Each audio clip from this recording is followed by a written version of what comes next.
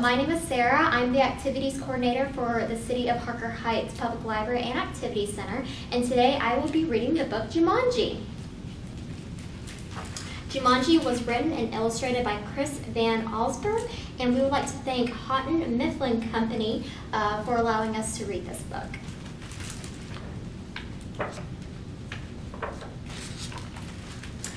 Now remember, Mother said, your father and I are bringing some guests by after the opera, so please keep the house neat.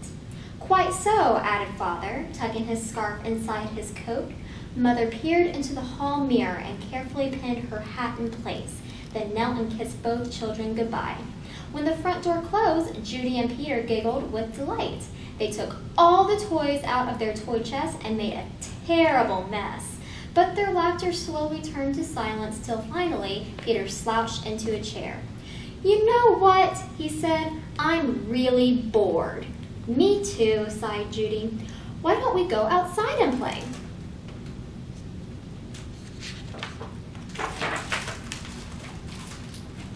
Peter agreed, so they set off across the street to the park. It was cold for November. The children could see their breath like steam. They rolled in the leaves, and when Judy tried to stuff some leaves down Peter's sweater, he jumped up and ran behind a tree. When his sister caught up with him, he was kneeling at the foot of the tree, looking at a long, thin box. What's that? Judy asked. It's a game, said Peter, handing her the box. Jumanji, Judy read from the box. A jungle adventure game. Look, said Peter, pointing to a note taped to the bottom of the box. In a childlike handwriting were the words, free game, fun for some, but not for all. P.S. Read instructions carefully. Want to take it home? Judy asked. Not really, said Peter. I'm sure somebody left it here because it's so boring. Oh, come on, protests Judy. Let's give it a try. Race you home. And off she ran with Peter at her heels.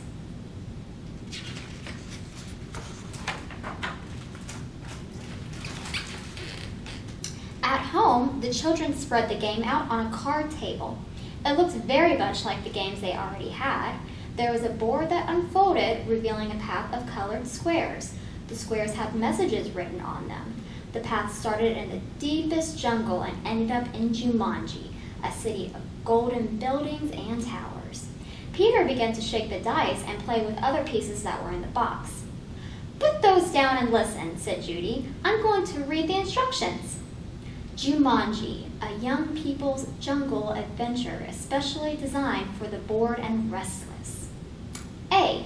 Player selects piece and places it in the deepest jungle. B. Player rolls dice and moves piece along path through the dangers of the jungle. C. First player to reach Jumanji and yell the city's name out loud is the winner. Is that all? asked Peter, sounding disappointing. No, said Judy. There's one more thing, and this is in capital letters. D. Very important. Once a game of Jumanji is started, it will not be over until one player reaches the Golden City.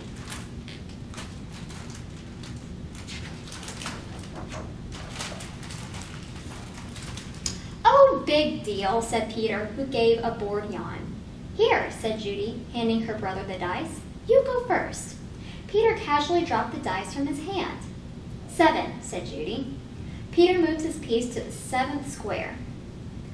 Lions attack, move back two spaces, read Judy. Gosh, how exciting, Peter said in a very unexcited voice. As he reached for his piece, he looked up at his sister. She had a look of absolute horror on her face. Peter, she whispered, turn around very, very slowly. The boy turned in his chair. He couldn't believe his eyes. Lying on the piano was a lion staring at Peter and licking his lips.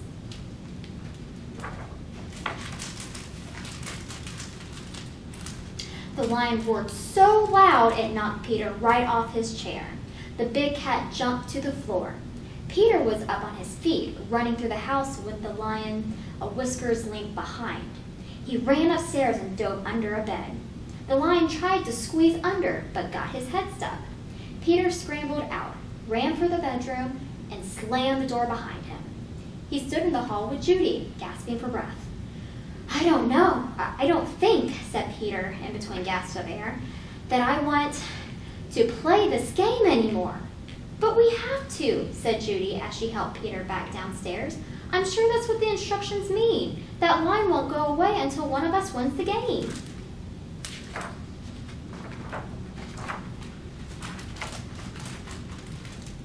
Peter stood next to the card table. Can't we just call the zoo and have him taken away? From upstairs, the sound of growling and clawing at the bedroom door. Or maybe we could wait till father comes home. No one will come from the zoo because they wouldn't believe us, said Judy. Oh, and you know how upset mother would be if there's a lion in the bedroom. We started this game and we have to finish it. Peter looked down at the game board. What if Julie rolled a seven?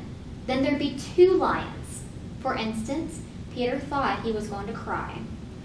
Then he sat firmly in his chair and said, Let's play. Judy picked up the dice, rolled an eight, and moved her piece. Monkeys steal food. Miss one turn, she read. From the kitchen came the sounds of banging pots and falling jars. The children ran in to see a dozen monkeys tearing the room apart.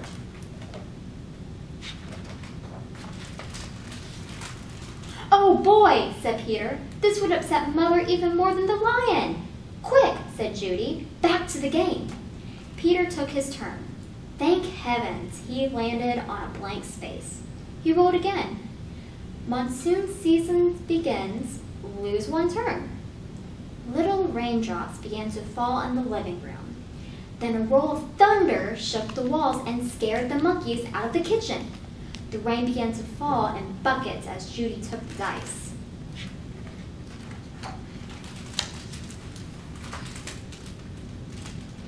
Guy gets lost, lose one turn. The rain suddenly stopped. The children turned to see a man hunched over a map. Oh dear, I say, spot of bad luck now, he mumbled. Perhaps I left a turn here then. No, no, a right turn here.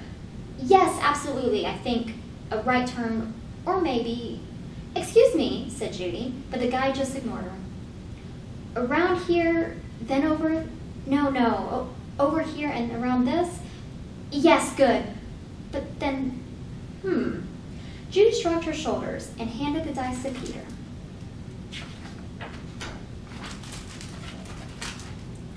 Four, five, six, he counted.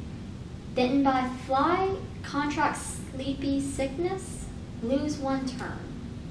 Judy heard a faint buzzing noise and watched a small insect land on Peter's nose. Peter lifted his hand to brush the bug away, but then stopped, gave a tremendous yawn, and fell sound asleep, his head on the table. Peter, Peter, wake up, cried Judy, but it was no use. She grabbed the dice and moved to a blank. She rolled again and waited in amazement. Rhinoceros stampede, go back two spaces. As fast as he had fallen asleep, Peter woke. Together, they listened to a rumble in the hallway. It grew louder and louder. Suddenly, a herd of rhinos charged through the living room and into the dining room, crushing the, all the furniture in their path. Peter and Judy covered their ears, and sounds of splittering wood and breaking china filled the house.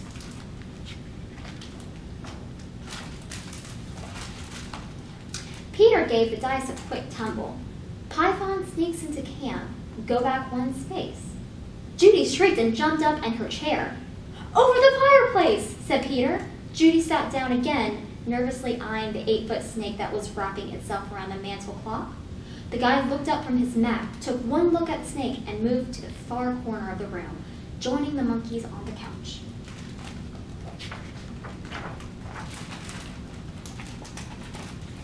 Judy took her turn and landed on a blank space. Her brother took the dice and rolled a three. Oh no, he moaned. Volcano erupts, go back three spaces. The room became warm and started to shake a little. Molten lava poured from the fireplace opening. It hit the water on the floor and the room filled with steam. Judy rolled the dice and moved ahead. Discover shortcut, roll again. Oh dear, she cried. Judy saw the snake unwrapping himself from the clock. If you roll a 12, you can get out of the jungle. said Peter. Please, please, Judy begged as she shook the dice. The snake was wriggling his way to the floor. She dropped the dice from her hand. One, six, then another. Judy grabbed her piece and slammed it to the board. Jumanji! she yelled as loud as she could. The steam in the room became thicker and thicker. Judy could not even see Peter across the table. Then, as if all the doors and windows had been open, a cool breeze cleared the steam from the room. Everything was just as it had been before the game. No monkeys, no guide, no water, no broken furniture, no snake, no lion roaring upstairs, no rhinos. Without saying a word to each other, Peter and Judy threw the game into its box. They bolted out the door, ran across the street to the park, and dropped the game under a tree. Back home, they quickly put all their toys away. But both children were too excited to sit quietly, so Peter took out a picture puzzle. As they fit the pieces together, their excitement slowly turned to relief and then exhaustion. With the puzzle half done, Peter and Judy fell sound asleep on the sofa.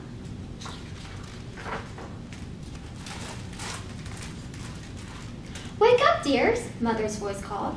Judy opened her eyes. Mother and Father had returned and their guests were arriving. Judy gave Peter a nudge to wake him up. Yawning and stretching, they got to their feet. Mother introduced them to some of their guests, then asked, Did you have an exciting afternoon? Oh, yes, said Peter. We had a flood, a stampede, a volcano, I got sleepy sickness, and Peter was interrupted by the adults' laughter. Well, said Mother, I think you both got sleepy sickness. Why don't you go upstairs and put your pajamas on? Then you can finish your puzzle and have some dinner. When Peter and Judy came back downstairs, they found that Father had moved the puzzle into the den. While the children were working on it, one of the guests, Mrs. Budwing, brought them a tray of food. Such a hard puzzle, she said to the children. Daniel and Walter are always starting puzzles and never finishing them. Daniel and Walter were Miss Budwing's sons. They never read they never read instructions either. Oh well, turning to rejoin the guests, I guess they'll learn. Both children answered, I hope so, but they weren't looking at Mrs. Budwig. They were looking out the window. Two boys were running through the park. They were Danny and Walter Budwing, and Danny had a long, thin box under his arm. The end.